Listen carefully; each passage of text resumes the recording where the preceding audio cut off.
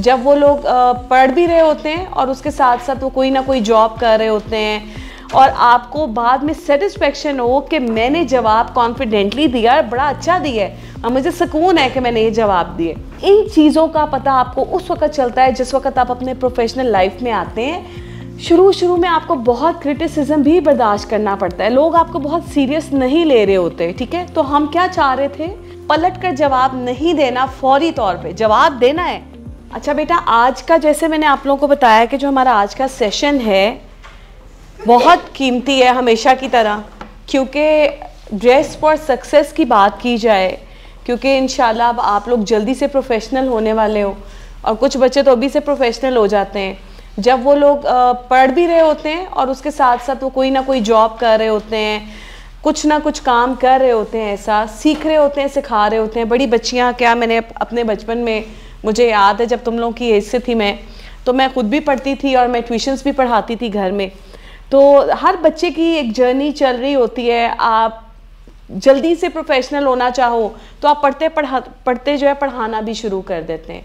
और एक होता है जो बिल्कुल प्रोफेशनल एनवायरनमेंट में काम करना। तो वो एक अलग सिनेरियो होता है, जब आप पढ़ रहे होते हैं, आप स्टूडेंट होते हैं, चलो आपको माफ़ी मिल जाती है कि आप स्टूडेंट हैं तो आप पॉकेट मनी के लिए साथ अर्न कर रहे हैं, उस वक्त आप उस तरह से ग्रूम्ड नहीं होते। ग्रूम्ड होने के लिए बड़ा ज़रूरी होता है कि उन चीज़ों को एक्सपीरियंस करना।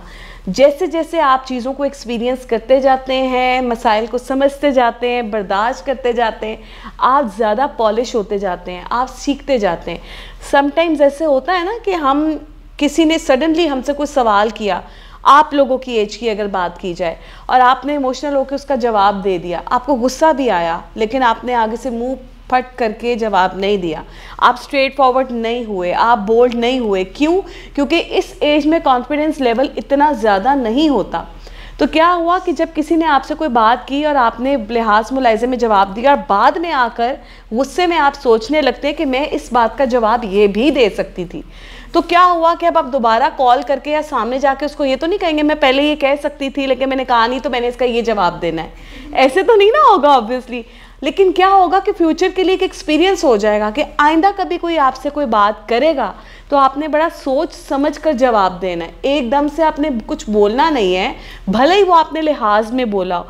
तो क्या जब आप किसी को जवाब उसके मुताबिक ऐसा देते हैं, जो बदतमीज़ी में ना आए बोल्डनेस में ना आए स्ट्रेट फॉरवर्ड होने में ना आए बट वो एक लिहाज मुलाहिक के साथ रहते हुए आए और आपको बाद में सेटिस्फेक्शन हो कि मैंने जवाब कॉन्फिडेंटली दिया बड़ा अच्छा दिया है और मुझे सुकून है कि मैंने ये जवाब दिए। तो इससे किस चीज़ का तयन लगाया जाता है कि आपकी समझदारी का लेवल कितना है? आपके अंदर कॉन्फिडेंस लेवल कितना है? आप चीज़ों को किस तरह समझते हैं और किस तरह जवाब देते हैं? इन चीज़ों का पता आपको उस वक्त चलता है जिस वक्त आप अपने प्रोफेशनल लाइफ में आते हैं। आप सीख तो चुके होते हैं, लेकिन अब सिखाने का वक्त आ जाता है। तो क्या होता है कि जो सीखा होता है आपने शुरू शुरू में, अब वो सिखाने का वक्त उसी सूरत में आता है ना जब आपको पता होता है कि अब मैंने ठहर कर सोच कर जवाब देना है। सो so, ये चीज़ें आप ज़िंदगी के साथ एक्सपीरियंस करते हैं और आपकी पर्सनालिटी कैसे बनती है? शुरू शुरू में आपको बहुत क्रिटिसिज्म भी बर्दाश्त करना पड़ता है। लोग आपको बहुत सीरियस नहीं ले रहे होते ठीक है? तो हम क्या चाह रहे थे? हम चाह रहे थे कि तालीम मुमकिन के हवाले से इस इनिशिएटिव को थोड़ा कामयाब तरह बनाया जाए कि जिस वक्त आप अपने इनिशियल स्टेजेस में हो तो वो वक्त ही ना फेस करना पड़े आपको। आपको ऐसी नौबत ही ना आए कि हाय, कोई मुझे सीरियस नहीं ले रहा। तो सीरियस लेने के लिए फिर हमें पर्सनालिटी को सीरियस बनाना है। उसके ऊपर काम उसी सूरत में हो सकता है, जब आप पढ़ाई के दौरान में इस तरह की क्लासेस लें, ऐसी स्पीचेस लें, ऐसी ट्रेनिंग्स लें तो आपकी पर्सनालिटी क्या होती है? आपको वो चीज़ें एक्सपीरियंस नहीं करनी पड़ती। जो दूसरे ने एक्सपीरियंस किया होता है, वालेकुम अस्सलाम, दूसरे ने जो एक्सपीरियंस किया होता है, वो आपको सिखा देता है। मैंने ये एक्सपीरियंस किया हुआ है कि मैं पलट कर जवाब दूँगी और बाद में सेटिस्फाई नहीं होंगी और बाद में पछताऊँगी, मैं तो इससे अच्छा जवाब दे सकती थी। ठीक है? तो क्या हुआ कि मैंने आपको पहले ही ट्रेन कर दिया कि आपसे प्रोफेशनल लाइफ में अगर कोई बात करता है तो फट करके जवाब नहीं देना। तो आपने क्या सीखा मेरे इस एक्सपीरियंस से कि हमेशा जवाब देना है, लेकिन बड़े महजब अंदाज में, बड़े प्यार से बहुत अच्छे अल्फाज का चुनाव करते हुए। और जवाब ऐसा देना है कि सेटिस्फेक्शन आपकी हो जाए। आपको पता हो, मैंने बदतमीज़ी नहीं की। मैं स्ट्रेट फॉरवर्ड नहीं था। मैं बोल्ड नहीं था। एक बहुत अच्छे हमारे ट्रेनर हैं वो एक स्पीच दे रहे थे और उनकी स्पीच में मुझे एक इतनी अच्छी बात लगी, इतनी कॉमन बात थी। लेकिन होता ये कि हम उसको एड्रेस करने में थोड़े लेट हो जाते हैं। हम इन चीज़ों को कॉमनली बड़ा पॉपुलर है, हम फेस कर रहे होते हैं, लेकिन ज़ुबान पे नहीं ला सकते। उन्होंने एक बात कही कि लोग कहते हैं ना, मैं गलत बात बर्दाश्त नहीं करता सोशल मीडिया पे बहुत वायरल हुई थी राइट तो बेवकूफ़ गलत बात ही तो बर्दाश्त करनी होती है।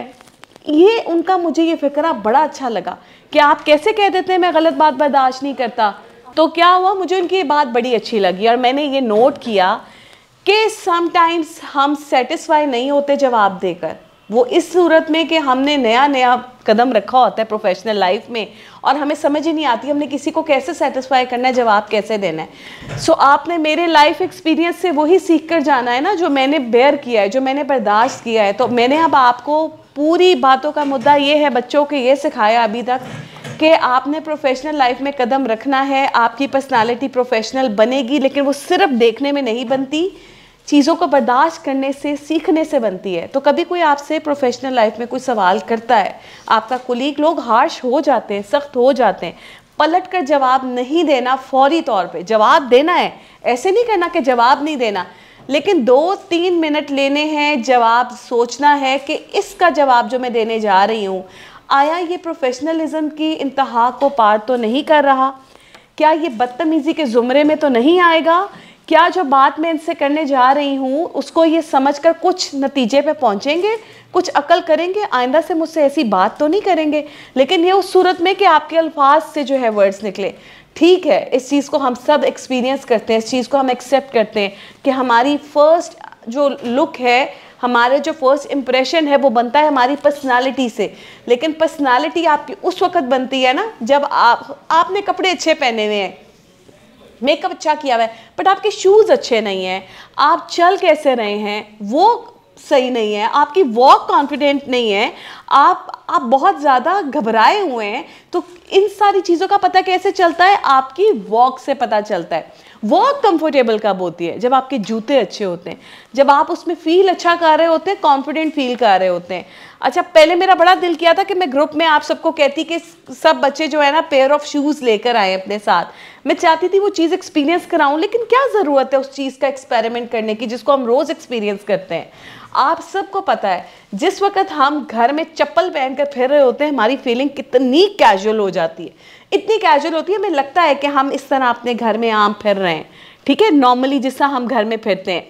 लेकिन क्या होता है कि जिस वक्त आप ऑफ़िस जाते हो, आप अपने कॉलेज यूनिवर्सिटी जाते हो तो जैसे ही आप पम्प शूज़ पहनते हो या स्ट्रैपी शूज़ पहनते हो तो आपको लगता है कि इस वक्त मैं मूड में आ गया हूँ वर्क मूड मेरा ऑन हो गया है, आपका कॉन्फिडेंस लेवल ही और हो जाता है।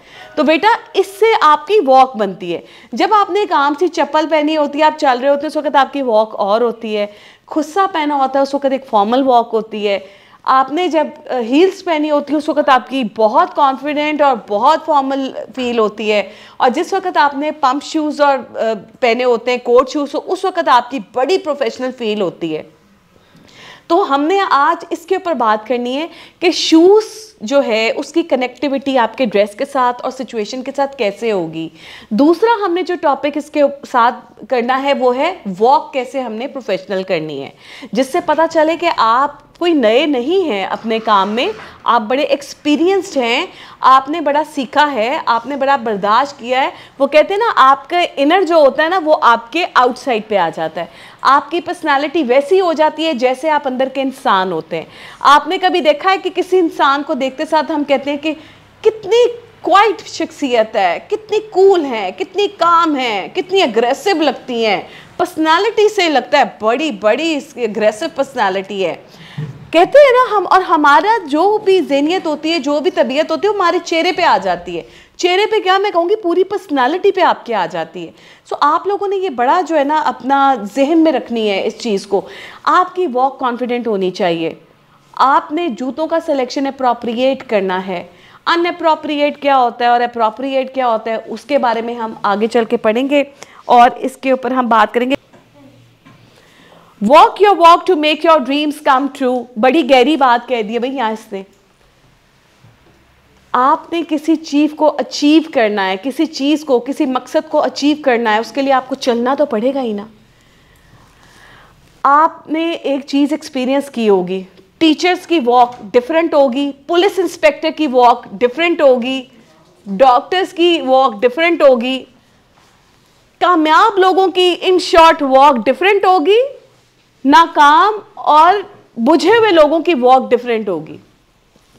आ, ये चलने का अंदाज है जो बता देता है कि इंसान कितना कामयाब है। कभी कासिम अली शाह साहब को चलते हुए देखा है? उनकी वॉक में कितना कॉन्फिडेंस लेवल है वो कैसे आया है?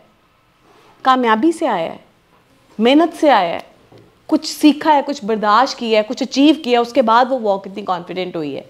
आपने बहुत सारे ऐसे लोगों को देखा है जो रस्ते में पड़े होते हैं कोने किनारे पे?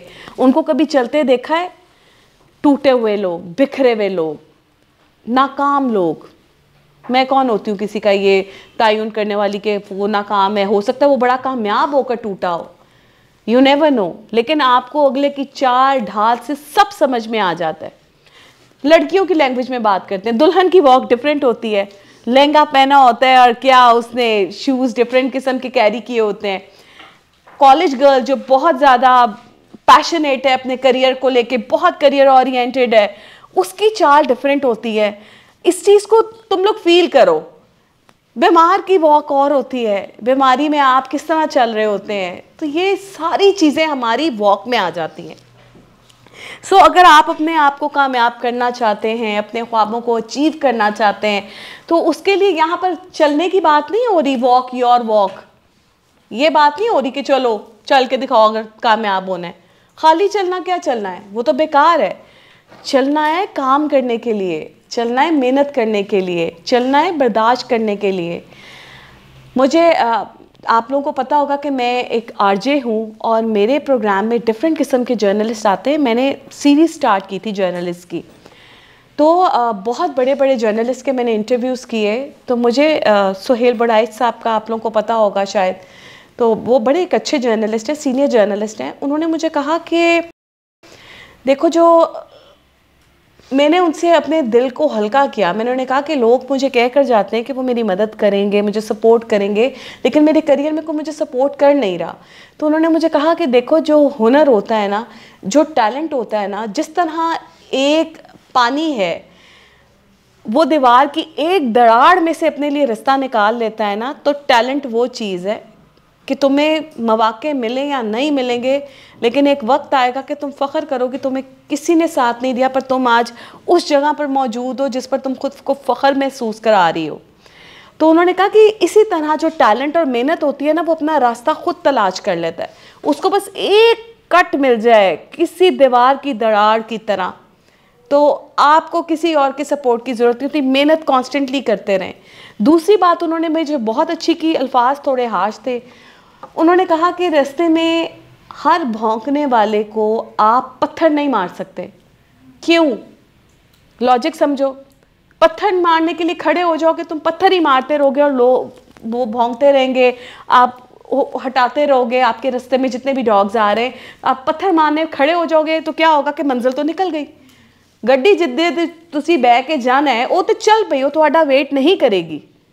लेकिन क्या हुआ कि आपने कंकर मारने में वक्त ज़ाया कर दिया? चुप करो। भोंगने दो। निकलो आगे। गाड़ी पकड़ो। बैठो। चलो, बढ़ो आगे। ये है वॉक इसकी वॉक की बात करें। हम ये इस चलने फिरने की चाल की बात नहीं कर हमारी वॉक सक्सेसफुल होनी चाहिए। जो इनिशिएटिव लेने जा रहे हैं, उसके बारे में क्लियर हो जाए। डीमोटिवेट नहीं होना। बड़े लोग आएँगे होए होए, तुम तो ये काम नहीं कर सकोगी। तो बड़ा मुश्किल काम है। मुझे आज याद है जब मैंने अपना रेडियो का करियर स्टार्ट किया ना तो मुझे आ, मेरे वॉइस टेस्ट के ऊपर ना मेरा ओके हो गया। और दूसरी क्योंकि मेरी मीडिया मैथ्स कम्युनिकेशन स्टडीज़ थी तो जब मैं वहाँ पर अपना इंटरव्यू देकर आई और डायरेक्टर से मैं पास होकर जब प्रोड्यूसर तक पहुँची तो प्रोड्यूसर ने मुझे बड़ा डिमोटिवेट किया। ही सेट तुम कुछ डिफरेंट करो। ये जो रोज़ चिट चैट होती है ना बैठ के इवेंट्स की कवरेज कर लिए इससे तुम कुछ नहीं बनोगी, कुछ कुछ अच्छा कर सकती हो, करो, नहीं तो अभी ना करके चली जाओ, क्योंकि लाइन लगी हुई है पीछे लोगों की, किसी का हक ना मारो। मुझे बहुत बुरा लगा। मुझे लगा, ज़ाहिर है अभी मुझे थोड़ा अरसा हुआ, मैं आहिस्ता सा क्रिएटिव तो हूँगी ना, ये बंदा मुझे डिमोटिवेट कर रहा है। लेकिन मैंने सोचा, मुझे इसकी शिकायत नहीं करनी चाहिए, मुझे इसकी बात को बड़ा पॉजिटिव लेना चाहिए और इसको करके दिखाना चाहिए। मैंने आकर जो है ना, अगले दिन अपनी सीरीज़ चेंज करवा दी। मैंने कहा मैं इवेंट की कवरेज करने नहीं जाऊँगी, मैंने सोचा है मेरा अल्लाह गवाह है कि ये मैंने सोचा। मैंने किसी जर्नलिस्ट या किसी एंकर से बात नहीं की कि अगर मैं आपको बुलाऊँगी तो आप आ जाएँगे। ये अल्लाह की तरफ़ से हुआ कि मैंने ये इस चैलेंज को एक्सेप्ट कर लिया और मैंने अगले दिन सोचा जाके कि मैं अपने फॉर्म में अपना जो डेजिग्नेशन है वो चेंज कराती हूँ अपने प्रोग्राम का। मैंने उन्हें कहा, जी, मैंने सोचा है, मैं एंकर्स और जर्नलिस्ट के इंटरव्यूज़ करूँ। तो ही वॉज़ लाइक दैट आसान काम है। हैं? आसान काम समझावे एंकर्स और जर्नलिस्ट को अप्रोच करना। वो तो बड़े बड़े अदारों को नहीं हाथ में आते। सो आप ये कैसे सोच सकती हैं कि आप ये इतना बड़ा काम कर सकती हैं? फजूल किस्म की बात ना करें, वो करें जो आप कर सकती हैं।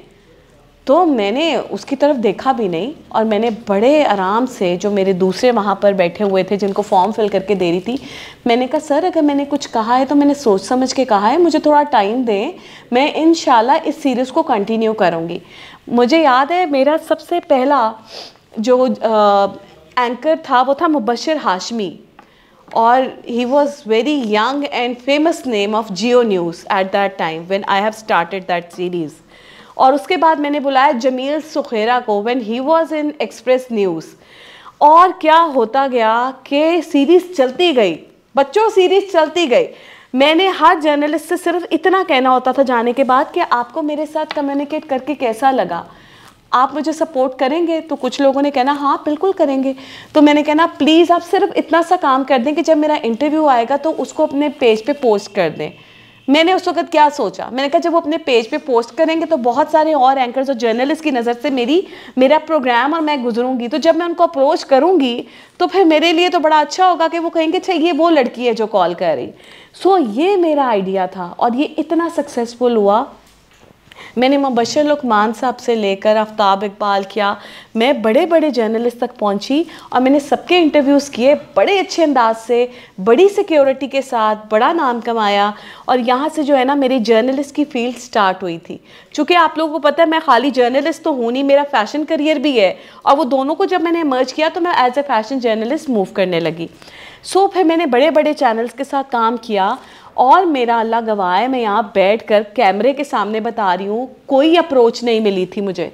दुनिया टीवी में मेरी जॉब हुई थी, कोई अप्रोच नहीं थी। 92 न्यूज़ चैनल पे मेरी जॉब हुई तो वहाँ पर जो हमारे कुलीग से 90 उसके दुनिया टीवी के, उन्होंने मुझे कॉल करके कहा, यहाँ वैकेंसीज ओपन हो गई अप्लाई करो।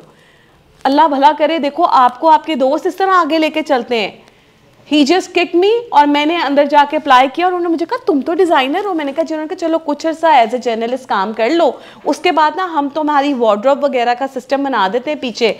आपको डिपार्टमेंट को हेड करना पड़ेगा, पर सिस्टम अभी लगाने वाला है। यहाँ से जर्नी स्टार्ट हुई।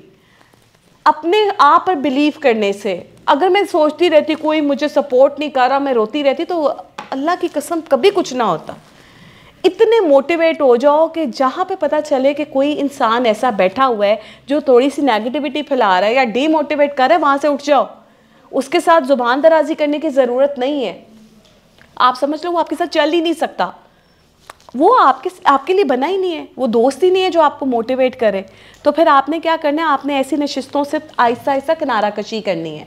ठीक है जनाब हाउ शूज़ मेक वॉक ये बड़े मज़े की बात है बेटा। Compatibility of shoes with dress इसमें हम इसकी बात करेंगे। हमारे यहाँ होता क्या है कि हम जब भी कोई ड्रेस कैरी करते हैं ना तो स्पेसिफिक उसके साथ हमने शूज़ टाइप कर दी हुई है। किस तरह? आप लोग सबसे पहले तो हम इस compatibility of shoes with dress को स्टार्ट करने से पहले एक छोटी सी एक्टिविटी करते हैं। हर एक की लाइफ में ना बड़ा मज़े मज़े का सीन होता है शूज़ को लेकर। सोचना है, कुछ सोचना है। मेरे साथ शूज़ को लेकर जो एक हुआ मसला, कुछ अच्छा हो सकता है, कुछ बुरा हो सकता है तो चलो, अब मैं आपको अपना से बताती हूँ मेरे साथ क्या हुआ, उसके बाद फिर मैं आपके ऊपर छोड़ती हूँ, कुछ अच्छा कुछ बुरा शूज़ से रिलेटेड हुआ हो। तो वो एक्टिविटी याद करनी है, लिखनी है और फिर मुझे बतानी है कि क्या फ़नी हुआ और क्या बैड हुआ। मेरा इट वॉज़ लाइक फन और समथिंग लाइक बैड डे हाँ it was actually a bad day for me actually जब हम थे आपकी एज के तो मेरे अंदर वो कॉन्फिडेंस लेवल नहीं था टू बी वेरी फ्रैंक इस एज में होता ही नहीं है। वो तो जब आप कमाना शुरू करते हैं ना तो फिर आपके अंदर कॉन्फिडेंस आता है कि मैं कुछ कर सकता हूँ। वो और ही बात होती है। तो हम शॉपिंग करने खुद नहीं जाते थे। हमारी मदर हमारी शॉपिंग करती थी। और पता नहीं उनको क्या हुआ कि मैंने उनसे कहा कि मेरे जो शूज़ हैं, वो टूट गए मुझे शूज़ चाहिए। तो मेरी अम्मी ने मुझे कहा अच्छा ठीक है, मैं जा रही हूँ। मेरी माँ प्रिंसिपल थी एक स्कूल की तो उन्होंने मुझे पहले तो बड़ा लान तान किया, एक तो तुम्हारी ज़रूरतें ख़त्म नहीं होती हैं, जो माओ का काम होता है। बड़ी बातें सुनाने के बाद फिर उनको मेरे ऊपर तरस आ गया कि सुबह कॉलेज जाना है और जूते तो टूटे में कैसे जाएगी? चली गई और जाके बाटा से को रंगीन से ना शूज़ उठा के ले आई। आज भी उन शूज़ का कलर मुझे याद है। ग्रीन बड़ा पॉपी ग्रीन नहीं होता। वो था और उसके ऊपर टर्कोइस ब्लू कलर का एम्ब्रॉयडरी हुई हुई और मेरी माँ को वो खूबसूरत लगा। अच्छा यूनिफॉर्म होता था गवर्नमेंट कॉलेज में, लेकिन शूज़ आप कुछ भी पहन सकते हैं। तो उनको पता नहीं क्या बनी इन्होंने जाके वो शूज़ ले लिए। वो बड़े एक्सपेंसिव शूज़ और उसका कलर इतना पॉपी और माँ वो उठा कर ले आई। अच्छा मैंने नहीं देखा क्या लाई मैंने शुक्र किया, ले आई और मैं आराम से अपना होमवर्क शोमवर्क करके सो गई। सुबह जब मैं उठी और मैंने कॉलेज जाना था तो मैंने देखा तो मेरे शूज़ अजीब नीले पीले रंग के। मैंने कहा, हाय ये क्या हो गया? मैं कही, मैं कैसे पहनूँगी? तो वो जा चुकी हुई थी तो मैंने कहा कि, चलो, आज पहन जाती हूँ, देखती हूँ क्या होगा। जैसे ही मैं वो पहन कर अपनी वैन पे बैठी तो सबसे पहला अटैक मेरी सहेली ने मुझ पर किया, ये क्या है? अभी मैंने पाँव ऊपर रखे और सारी वैन ने हंसना शुरू कर दिया। यहाँ से मेरा कॉन्फिडेंस लेवल ज़ीरो हो गया कि ये तो मैं कार्टून बन के जा रही हूँ। मुझे आज समझ में आती है, मैं शुरू से कितनी सेंसिटिव थी ना इन चीज़ों को लेकर। मैं गई अपने कॉलेज और तुम लोग यकीन करोगे, मैंने ज़िंदगी में कोई क्लास बंक नहीं की थी। मैंने उस दिन सारी क्लासेस बंक की। मैं क्रॉस सेटिंग पोस्टर में सारा दिन गवर्नमेंट कॉलेज के गार्डन में बैठी रही, सिर्फ़ इसलिए कि आते जाते मेरी सहेलियाँ मेरे जूतों को देख रही थी। इतनी मैं परेशान हुई या घर आके फिर मैं रोई। मैं कहा, आपने तो मेरा तमाशा बना दिया, सबने मेरा इतना मज़ाक उड़ाया, मैंने ये शूज़ नहीं पहनने। बहरहाल फिर उस दिन मेरा फौरी तौर पे मेरे फादर ने ये मसला हल किया और ब्लैक कलर के शूज़ आए और मैंने कहा, ये मैंने नहीं पहनने। अब वो ज़ाहिर है कॉलेज गई थी तो वो इतने गंदे हो चुके थे कि वो आप नॉर्मली नहीं रिटर्न होते। फिर वो मैंने कहा अच्छा मैं घर में पहनूँगी, लेकिन मैं जो है ना, वो पहन कर नहीं जाऊँगी। फिर भी मुझे ताने मिले कि एडी तू नवाबजादी के कॉलेज तू ऐटे महँगे शूज़ पा के फिरेंगी। एनी तो ये मेरे लाइफ का शूज़ से रिलेटेड जो है ना, और भी काफ़ी ऐसे रहे हैं।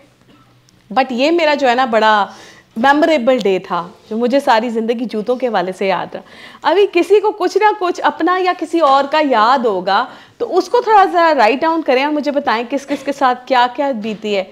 अच्छा compatibility of shoes with dress जैसे हम कोट शूज़ पहनते हैं उसके साथ हमने कंपैटिबल कर दिया है कि अगर हमने पेंट पहनी होगी तो हम उसके साथ पहनेंगे, या कोई आपने फ्लेयरी ड्रेस पहना होगा तो उसके साथ आप पहन सकते हैं। छोटी छोटी टिप्स हैं जो मैं आपको बताऊँगी। और इसके अलावा जो भी वेस्टर्न ड्रेसिंग आपकी होती है, उसमें जीन्स के अलावा जो आपके ड्रेस कोट और ड्रेस पेंट होती है, उसके साथ आप कोट शूज़ कैरी कर सकते हैं। कंपैटिबिलिटी बहुत ज़रूरी होती है। अगर आप चाहते हैं कि आपकी ओवरऑल लुक बड़ी सक्सेसफुल लगे, बड़ी अप्रोप्रिएट लगे, बड़ी प्रोफेशनल और अकॉर्डिंग टू द सिचुएशन और अकॉर्डिंग टू द ड्रेस आपके शूज़ हों तो फिर आपने इन चीज़ों को ज़रूर फॉलो करना है। इंपॉर्टेंस ऑफ़ सिचुएशनल अटायर ठीक है? ये अच्छा ये मेरा ख्याल है कि हमारी हो गई है थोड़ी सी स्पोर्ट्स नॉर्मली देखो आप कुछ स्पेसिफिक शूज़ हैं जिसको आप स्पोर्ट्स ड्रेसेस और ट्रैक शूज़ के साथ ही पहनते हैं, ठीक है? तो ये हमारे जिस तरह स्पोर्ट्स के ड्रेसेस होते हैं, उसके साथ आपके टेनिस शूज़ जो होते हैं टेनिस शूज़ सबको पता होगा। स्कूल में नॉर्मली बहुत ज़्यादा हम ये, आप लोगों की भी पीटी होती होगी कुछ इस तरह की, आप लोगों की होती है ना वहाँ पे? तो इस तरह की एक्टिविटीज़ में इस तरह के शूज़ जो है ना, वो आपके रिस्ट्रिक्टेड हैं कि आपने पहनने। अच्छा इसी तरह ये जो टेनिस शूज़ और ये आपने लेसअप शूज़ देखे होंगे लेडीज़ के, पुलिस और आपकी जो नर्सेज होती है ना, उनके शूज़ उस तरह के होते हैं। क्यों होते हैं? कभी सोचा इस बारे में? यूनिफॉर्म्स के शूज़ इस तरह के क्यों होते हैं? क्योंकि इनकी जॉब होती है बड़ी फ्लेक्सिबल बड़ी एक्टिव रहने वाली। इनके यूनिफॉर्म में ड्रेसेस और शूज़ इसलिए इस तरह के होते हैं, ताकि उनको अपनी एक्टिविटी करने में कोई प्रॉब्लम ना हो। अगर उन्होंने तेज़ से चलना है, उनके पाँव थके नहीं उनको किसी किस्म का कोई प्रॉब्लम ना हो, वो भागम भाग अपने काम शाम कर सकें। इन बेचारों के अपने मसाइल होते होंगे, जब आप सारा दिन बंद जूते पहन के बैठे रहेंगे तो नॉर्मली होता है ना स्कूल कॉलेज में ऐसे होता था कि जब आप घर आके अपने सॉक्स उतारते थे तो आपके पाँव ऐसे हुए होते थे, है ना? और कुछ लोगों को तो स्वेटिंग का बड़ा इशू होता है। पाँव में स्वेटिंग बड़ी ज़्यादा हो जाती है। उसके भी काफ़ी हल होते हैं। वो भी आपने शूज़ को देखना होता है कि शूज़ के अंदर जो कपड़ा लगा होता है या उसकी जो प्रोडक्शन होती है, वो किस तरह की है। तो अव्वल तो जो मैन्युफैक्चरर्स हैं, वो कोशिश करते हैं कि वो इसी तरह का मटेरियल यूज़ करें, जिससे आपके पाँव में स्वेटिंग कम हो। तो ये आपने जो है ना, बड़ा देखना होता है। ये मैं कुछ टिप्स आपको बताऊँगी एंड में कि आप लोगों ने जब शूज़ लेने के लिए जाना है तो किन किन चीज़ों का ख्याल रखना है। सिचुएशनल ड्रेसिंग की हम बात करें उसमें आप कोट शूज़ देखें, जिस तरह ये ड्रेस आपका है पूरा, ये वेस्टर्न ड्रेसिंग में आ जाता है। तो कोट शूज़ इस तरह के ड्रेसेस के साथ बड़े अच्छे लगते हैं। अगर आप चाहते हैं कि अगर आपने लॉन्ग कोट पहना हुआ है, क्योंकि मुझे short coats for girls in Pakistan I don't like that I don't appreciate that उसकी वजह ये है कि हमारा ख़ास मकसद तो ये होता है कि हम लोग बहुत ज़्यादा प्रोफेशनल लगने के साथ साथ एक अच्छे और कवर्ड जिसम के साथ मूव करें। उसके लिए मैं कहती हूँ कि अगर आपने वेस्टर्न ड्रेसिंग में जाना है तो आप पेंट के साथ ख़ास तौर पे लॉन्ग कोट पहने। अगर तो आपने शलवार कमीज़ पहनी हुई है, उसके ऊपर आपने कोट कैरी करना है तो आप स्पोर्ट्स कोट कैरी कर सकते हैं। लेकिन अगर आपने पेंट के साथ कोट कैरी करना है तो क्या हुआ कि ऑलरेडी आप यहाँ से थोड़े से शेपी हैं तो आपको उसको कवर करना है तो उसके लिए आप लॉन्ग कोट ही कैरी करें तो ज़्यादा बेहतर है। और दूसरा आप ये देखें, इन्होंने क्या किया है कि जिस कलर का कोट है, उसी कलर की पेंट है। इससे डिस्ट्रैक्शन कम होती है। डिस्ट्रीब्यूशन ऑफ़ बॉडी कम होती है। आप ज़्यादा हाइटेड लगते हैं। तो ये कोशिश करनी चाहिए कि आप जो जूते पहन रहे हैं, उसकी नौयत देखें कि क्या वो जूते इस ड्रेस के साथ अच्छे लगेंगे। ठीक है जनाब? तो विद वेस्टर्न ड्रेस आपने कोट शूज़ कैरी करना है। खुस्सा देखो। चूड़ीदार पजामा पहना हो या आपने टाइट फिटेड पजामास पहने हो, उनके साथ जो है ना खुस्सा ड्रेस बहुत अच्छा लगता है। अच्छा इसके साथ खुस्सा ड्रेस अच्छा लगता है? ये किस सिचुएशन में? ये आप ऑफ़िस या स्कूल में तो नहीं पहन सकते। ये आप अपने कॉलेज या यूनिवर्सिटी में तो नहीं पहन सकते। आप अपने ऑफिशियल अटायर में ये खुद से कैरी नहीं कर सकते, क्योंकि ये एक बड़ा फॉर्मल सी चीज़ है बट ये पार्टी शार्टी के लिए ही ठीक है। इसको कॉलेजेस में या प्रोफेशनल इन्वायरमेंट में कैरी नहीं करना। ये आपको इस तरह के ड्रेसेस के साथ सूटेबल लगेंगे। चूड़ीदार पजामा, आपका वो पटियाला शलवारें, इस तरह की चीज़ों का हर वक्त वो आता रहता है ना, क्या उसे कहते हैं? दौर आता रहता है, हर पाँच साल के बाद रिवाइवल हो रहा होता है आपके फ़ैशन ट्रेंड का। तो आपने कोशिश करना है कि अपने सोशल इवेंट्स में इस तरह की चीज़ें कैरी करें। तो विद चूड़ीदार और फिट पजामा या फिर पटियाला शलवार, इस तरह की चीज़ों के साथ आप ये पहनेंगे। जनाब, ये आपकी आ जाती कोलापुरी ठीक है? अब इसको पहनकर आप ऑफ़िस में नहीं जा सकते। दो तीन रीजंस हैं, ठीक है? एक तो इसको पहनकर आपको बहुत फीलिंग आती है कैजुअल सी। दूसरा कि अगर आपने ये पहना है तो आपका पाँव पूरा रहेगा ओपन और स्कूल कॉलेज यूनिवर्सिटीज़ में तो आपको पता है इतना ओपन सारा माहौल होता है कि आपके पाँव गंदे होने का खदशा होता है, आपकी एड़ियाँ डैमेज हो रही होती हैं। तो आपको कोशिश क्या करनी है कि प्रोफेशनल दिखना है तो आप बंद जूते कॉलेज यूनिवर्सिटी स्कूल्स वगैरह में पहने। तभी आप देखो यूनिफॉर्म्स के साथ हमेशा बंद जूते रिस्ट्रिक्ट कर दिए जाते हैं। सो so, ये आपने जो है ये भी फिटेड पजामाज पटियाला शलवार इस तरह की चीज़ें जो आप सोशल इवेंट पे पहनेंगे। It is not for professional events ठीक है? समझ में आ रही है? मतलब प्रोफेशनल इवेंट्स पे भी नहीं पहनी तो प्रोफेशनल इन्वायरमेंट में तो सवाल ही पैदा नहीं होता।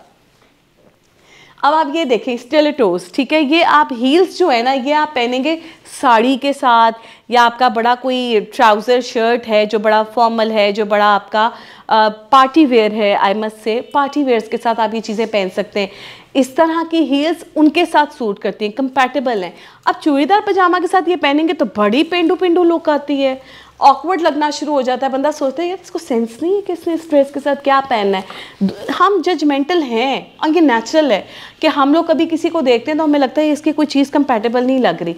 फिर वही बात आ जाती जब हम किसी को कहते हैं ना, वो तुम्हारे जूते बड़े अच्छे लग रहे हैं। तो इसका मतलब ये होता है कि जूते बहुत अच्छे लग रहे हैं, लेकिन आप पूरे अच्छे नहीं लग रहे। क्यों? क्योंकि आपने कंपेटेबिलिटी इक्वल नहीं की हुई। सो आपने बड़ा केयरफुल रख, अपने आप को रखना है शूज़ की सिलेक्शन पे। विथ शलवार कमीज विथ ट्राउज़र शर्ट अच्छा अब आप इसमें ना एक चीज़ नोट कीजिएगा ये मैंने आपको सिर्फ़ स्ट्रैप्स दिखाने के लिए नॉट फॉर कलर्स मैं एंड में आपको बताऊँगी कि आपने स्ट्रैपी शूज़ किस कलर पैलेट में पहनने हैं अगर प्रोफेशनल इन्वायरमेंट में पहनने हैं तो अभी कलर्स नहीं आपने देखना मैंने आपको सिर्फ़ ये बताया है कि ये आप सोशल इवेंट्स पे पहन सकते हैं सोशल इवेंट्स पे strappy shoes like these kind of sandals you can carry with shalwar kameez with trouser shirt तो ये आपके सोशल इवेंट्स के लिए बड़ा अच्छा है। लेकिन फिर मैंने बता दिया कि शलवार कमीज़ और ट्राउज़र शर्ट के साथ अगर आप किसी फ्रेंड की तरफ़ जा रहे हैं या आप मार्केट जा रहे हैं, क्योंकि मार्केट भी जाते हुए आप इस तरह के कप, वो जूते तो नहीं पहनेंगे जो ओपन हो तो बेशक कोशिश करें कि स्ट्रैपी हो जाए, थोड़े कवर्ड हो, उससे आप बड़ी फॉर्मल फॉर्मल सी लुक आती है, अब ड्रेसी लगते हैं थोड़े से। बहुत ज़्यादा ड्रेसी नहीं लगते, जिस तरह पम्प शूज़ वगैरह में लगते हैं बट फिर भी थोड़े ड्रेसी लगते हैं। जनाब, ये आ जाते हैं professional shoes for professional girls अब ये आप शलवार कमीज़ के साथ पहन रही हैं, या आप ट्राउज़र कमीज़ के साथ पहन रही हैं, या आप वेस्टर्न क्लोथिंग के साथ पहन रही हैं, आप जिस तरह भी चीज़ों के साथ पहन रही हैं प्रोफेशनल इन्वायरमेंट में बंद जूते आपके पास एक ऑप्शन है। बंद जूतों में आपके पास दो तीन ऑप्शन इस तरह हैं कि कुछ पीछे से स्ट्रैपी हो जाए, कुछ पम्प्स हो जाए, कुछ हील्स हो जाए, लेकिन होंगे वो coat shoes pump shoes colour palette देख लें, ये कलर बहुत इसका प्रोफेशनल है. मैं इसके अलावा और बहुत सारे कलर्स आपको आगे दिखाऊँगी, जो आप देखकर कहेंगे कि अच्छा हाँ वाकई भाई, ये तो कमाल है, ये इसके साथ सूटेबल है. ये कलर्स देख लें विंटर समर के लिए. आपने जब भी अपने प्रोफेशनल इन्वायरमेंट के लिए जूते सेलेक्ट करने हैं ना तो फिर आपने उस वक्त ये कोशिश करनी है कि आपके जो जूते हैं, वो इस तरह के होंगे कि उसका कलर इस तरह का होगा। और इस तरह के कलर के जो जूते हैं, वो उस सूरत में पहने जाते हैं जब आपका ड्रेस भी प्लेन होगा। यहाँ पर कुछ बच्चों को मैं आज ख़ास अप्रिशिएट करूँगी। मुझे, एक तो आपने जो ड्रेसिंग की हुई है, आप प्लीज़ मैं चाहूँगी कि आप इधर आओ। और अभी एक और बच्ची जो आई थी यहाँ पर। आप थी आई गेस आपको मैंने ड्रेस का कहा था ना, उठो। आओ ज़रा, मैं सबको एक एग्ज़ाम्पल देना चाह रही हूँ।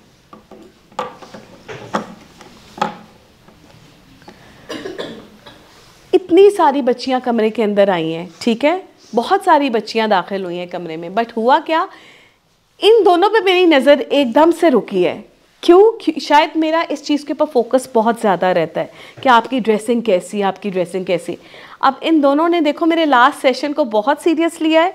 माशाल्लाह, अब इनकी देखो, यहाँ पर इनकी ड्रेसिंग दोनों की बिल्कुल प्लेन है। उसके ऊपर इन्होंने जिस तरह से ये कवर किया हुआ है, ये बहुत अच्छा लग रहा है। तो हर चीज़ को इतना सीरियस ले लेना चाहिए और मुझे उम्मीद है, मुझे अच्छा लग रहा है कि आप सबने अपनी वार्ड्रॉप में चेंजेस करने शुरू कर दिए। हाईली अप्रिशिएटेड तो जनाब, ये वाले कलर्स हैं जो आपने न्यूट्रल कलर्स की पैलेट में आते हैं, इसको आपने विंटर समर में डिफरेंट कर लीजिएगा। जो लाइट कलर्स के शूज़ हैं नॉर्मली वो इतने आपको मज़े के विंटर्स में नहीं लगते, जितने समर्स में लगते हैं। सो वाइट कैरी करना बड़ा मुश्किल है, लेकिन विद डैट अच्छे तो लगते हैं ना। तो कोशिश करनी चाहिए कि लेदर में ले लिए जाएँ, क्योंकि वो बड़े अच्छे होते हैं। लेदर में आप उसको क्लीन अच्छे से कर सकते हैं। तो जनाब, ये मेरे जो है ना, यहाँ पे ख़त्म होती है यस ये प्रेजेंटेशन हमारी यहाँ पर ख़त्म हो जाती है और अब कुछ टिप्स हैं मेरे पास जो मैं आपको बताऊँगी कि जब शूज़ लेने के लिए जाना है, उसका वक्त क्या होना चाहिए, नौयत क्या होनी चाहिए और शूज़ सेलेक्ट करते हुए उस पर क्या क्या चीज़ें हैं जिसको नोट करना है। सबसे पहली चीज़ जो आपने उसमें नोट करनी है ना, वो ये कि आप जिस टाइम पे शूज़ कैरी करने के लिए जा रहे हैं बाय करने के लिए जा रहे हैं पूरा दिन हम क्या करते हैं, हम सबसे बड़ी मिस्टेक क्या करते हैं? हमारी मजबूरी भी है। ज़ाहिर है, हमने अपनी सारी शॉपिंग शाम के टाइम पे रखी होती है। हम कहते हैं, सारे कामों से फारिग होंगे तो शाम को चलो, आते जाते हम अपने शूज़ पकड़ लेंगे। बेहतर ये होता है कि आप छुट्टी वाले दिन का ये प्लान रखो और कोशिश करो कि सुबह के टाइम पे आप शूज़ अपने जो है वो लेने के लिए जाओ। उसकी ख़ास रीज़न क्या है? उसकी ख़ास रीज़न ये है जनाब कि आपने सारा दिन की चलना, फिरना, थकन वो आपके पाँव पे आ जाती है। नॉर्मली ये होता है, रात के टाइम पे हमारे जो पाँव हैं वो इतने डिस्टर्ब हुए होते हैं, इतने स्वेल्ड हुए होते हैं कि जिस वक्त आप वो कैरी करते हैं ना, कोई भी ऐसी चीज़ तो बेटे क्या होता है? आपने जैसे ही कैरी किया तो उस वक्त तो आपको, आपके पाँव बड़े फूले फूले होते हैं सूजे सूजे होते हैं, थके हुए होते हैं।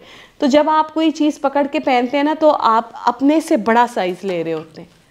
क्योंकि जूते तो बाद में खुल ही जाते हैं पहनने के बाद। अब जब आपने पहले ही इतने ज़्यादा बड़ा साइज़ ले लिया, अगली बार जब आप वो पहनोगे ना तो क्या होगा, वो बहुत ज़्यादा लूज़ हो जाएँगे। तो एक तो आपने टाइम जो है ना, वो अपना सिलेक्ट करना है कि आपने कोशिश करनी है सुबह के टाइम पे। जब आपने इतना चला फिरा ना हो, जब इतना काम ना किया, उस वक्त आप जाकर अपना साइज़ सेट करवा लेते हैं। दूसरा, एक तो ये टाइमिंग की बात हो गई। मुझे लगता है आप लोगों को इस चीज़ का अंदाज़ा हो गया होगा कि ये एक नॉर्मल बात है और आप लोगों को अंदाज़ा होगा इस चीज़ का। दूसरा, जब आपने शूज़ लेने हैं तो कभी लिहाज मुलायजे में नहीं लेने। नॉर्मली होता है ना, बहन के साथ गए हैं, भाभी के साथ गए हैं, आप शूज़ पकड़े हैं, देखें अच्छा एक पाँव पहन कर देख लिया, दूसरा नहीं पहना। आपको पता है इट्स नेचुरल हमारा एक पाँव बड़ा और एक पाँव थोड़ा सा छोटा होता है, ठीक है? या पतला और मोटा होता है। दोनों की जो साइज़ और विर्थ है, उसमें थोड़ा सा डिफरेंस होता है। हम क्या करते हैं, एक पाँव पहन कर देख लेते हैं। वो अगर हमें थोड़ा सा भी अनकंफर्टेबल लगे तो हम कहते हैं पहन पहन कर खुल जाएगा, कोई ऐसी बात नहीं है। तो आप कहते हैं, ये पैक कर दें। तो आपने क्या किया, आपने दूसरा पैर नहीं पहन कर देखा। अब वो आपने पहन लिया, आप अनकंफर्टेबल एक तरफ़ से हुए, दूसरी तरफ़ आप चल रहे हैं। और आप बहुत अनकंफर्टेबल हैं, क्योंकि आपके शूज़ में से तो या तो आवाज़ें आ रही हैं, क्योंकि वो बैठा नहीं है आपके पाँव में सही तरह। चीख चीख चीख की आवाज़ें आ रही हैं। नॉर्मली ऐसा होता है, कभी तुम लोगों के साथ हुआ ऐसे? कि जूता पहना और चल रहे हैं और आवाज़ें आ रही हैं। दूसरा, पिछले दिनों ई सी एस और स्टाइलो की एक बहुत बड़ी मिस्टेक थी, जिसके लिए मैंने उनको लेटर लिखा था। उनके शूज़ में बहुत ज़्यादा एक चीज़ जो डैमेजिंग थी हील की साइड से जूता मूव कर रहा था। आप कोई भी साइज़ ले लें। गॉड इट आपने एक्सपीरियंस किया है? तो मैंने दोनों को लेटर लिखा था, उनके सी को, और मैं वो जूते, जितने मेरे जूते थे, सारे वापस करके आई थी। उन्होंने मुझे रिटर्न में ईमेल की थी कि आप आए शोरूम हम आपको बाकी के जूते जो हैं वो रिटर्न करते हैं, और उसके साथ हम आपको कुछ ऑफ़र करना चाहेंगे। तो मैंने उन्हें कहा था कि नहीं, आप अपने इस चीज़ को ठीक कर लें, क्योंकि मेरे ख्याल में Stylo or ECS, more affordable brand in Pakistan for us. More economical and affordable मतलब अगर मैं देखूँ तो मैं कोई इतना हाईली अर्न नहीं करती। तो मैं अगर जाऊँ तो मैं हील्स अफोर्ड नहीं करूँगी मैं कलाइव अफोर्ड नहीं करूँगी। आपके बहुत बड़े बड़े यहाँ पर बोर्जन है बोर्जन तो मैं बिल्कुल अफोर्ड नहीं करूँगी। सो so, मैं क्या करती हूँ मैं देखती हूँ जाके मुझे हमेशा ई e और स्टाइलो इकनॉमिकल लगता है। मेट्रो के भी अच्छे होते हैं बट ये दो जो है ना ये बड़े अच्छे होते हैं। तो ये शुक्र है इस साल उनके शूज़ में ये शूज़ नहीं आए। उन्होंने इस चीज़ को बड़ा सीरियस लिया और मुझे बड़ा सीरियस रिप्लाई किया। मुझे खुशी हुई इस चीज़ की। सो so, आपने जूते पहनकर देखना है दोनों जूते पाँव में आए हैं। ठीक है एक अगर हल्का सा टाइट होगा या हल्का सा लूज होगा वो चलता है क्योंकि साइज़ उसका इक्वल है। फिर उसको चल के देखें उनके वहाँ पे बड़े बड़े फ्लोर्स होते हैं मिरर्स लगे होते हैं वहाँ खड़े होकर देखें आगे पीछे से देखें। तीसरा पॉइंट इज़ वेरी इंपॉर्टेंट शीशा लगाने का मकसद ये होता है एक चीज़ होती है कि आपने अपने पाँव में पहने शूज़ और आपको पहनने के बाद वो बहुत स्मार्ट लग रहे हैं। आप कह रहे हैं, मैं बहुत अच्छी लग रही हूँ। वेरी स्मार्ट लेकिन जैसे ही आप शीशे के सामने आते हैं तो देखने वाली आई पे आपको लगेगा कितने अजीब सा शेप है ना जूते की आगे से। अब जूते की शेप देखो हम कितनी बारीकियों में जा रहे हैं। कुछ लोगों की नोज़ बड़ी तकोनी होती है। ठीक है, आगे से पॉइंटेड नोज़ होती है। अगर वो आगे से पॉइंटेड जूते पहनते हैं तो क्या होता है कि आपकी पॉइंटेड नोज़ और पॉइंटेड जूते इक्वल हो जाते हैं बैलेंस हो जाते हैं। तो आपने क्या करना है, इसको करने के लिए नॉर्मल करने के लिए तो आपने पॉइंटेड ही शूज़ लेने हैं। पॉइंटेड शूज़ ऐसे होते हैं जो मैंने अभी पहने हुए थोड़े से आगे से, नोकीले से। एक होते हैं राउंड में। अगर आपका फेस शेप राउंड है आपका नोज़ नॉर्मल है तो फिर आपने नॉर्मल ही जूते लेने। सेम लाइक दैट जैसे मैंने आप लोगों को बताया था कि जिन लोगों का तकोना नोज़ होता है, वो वी गले पहने। तो वो बैलेंस कर जाता है आपका फेस शेप ये छोटी छोटी सी जो है ना, आप लोगों को मैंने टिप्स दी हैं, ये नॉर्मली किसी को नॉलेज नहीं होगी। अच्छा ये भी सुन लो कि मुझे नॉलेज कैसे आई। मेरा मैट्रिक जो है, वो आर्ट्स में था और मेरा सब्जेक्ट था होम इकोनॉमिक्स होम इकोनॉमिक्स में उन्होंने, होता था ना, आपको प्रोजेक्ट में कोई किताब मिल जाती थी, मुझे आज भी याद है, हमें होम इकोनॉमिक्स कॉलेज के एक प्रोजेक्ट सिलेबस की बुक थी लबास तो वो बुक हमें उन्होंने प्रोजेक्ट में लगा दी थी कि बुक आपने पढ़नी है और उसका रिव्यू देना है। तो वो बुक मैंने, समझो, घोल के पी ली थी। मुझे आइडिया ही नहीं था कि फ्यूचर में मैं इस फ़ील्ड में आ जाऊँगी। मुझे उस वक्त की टिप्स अभी तक याद हैं। कि अगर आपने कपड़े धोकर डालने हैं तो फिर वो कैसे डालने हैं? आपने अपनी रोप को कैसे साफ़ करना है? डालते हुए कैसे आपने उसको पानी ने निचोड़ना है? कैसे झटकना है? कैसे डालना है? उसमें हर चीज़ थी। अगर आप लोगों को कभी मौका मिले तो वो किताब ज़रूर पढ़ लें। उससे क्या होगा कि आप एक अच्छी घरेलू खातून और प्रोफेशनल लाइफ गुजारने की बड़ी अच्छी टिप्स उसमें मिल जाती हैं। कि अगर if you are professional women तो कपड़ों को असेंबल कैसे करना है? आपने उसमें यहाँ तक ये बताया था कि अगर आपके पास एक वाइट शलवार है तो अब आप उसको चार ड्रेसेस के साथ कैसे कैरी करेंगे? कोई जोमेट्रिकल शेप की बना लें शर्ट कोई प्लेन बना लें, दो प्लेन बना लें, चलें। एक सेम कलर की होनी चाहिए, एक डिफरेंट कलर की होनी चाहिए, एक जोमेट्रिकल होनी चाहिए और एक कोई प्रिंट बना लें। तो उन्होंने एक ही ट्राउज़र का चार लबास बना दिए थे। तो उस किताब में बहुत अच्छी चीज़ें हैं। मैं सर्च करूँगी ऑथर का नाम क्या था फिर मैं आप लोगों को वो किताब पढ़ने के लिए बताऊँगी। मस्ट रीड दैट बुक अच्छा जनाब कैसा रहा आज का सेशन समझ में आया कुछ? आ, कुछ उसमें ऐड ऑन करवाना चाहें या कोई सवाल हो कोई रिलेटेड टू कुछ भी हो?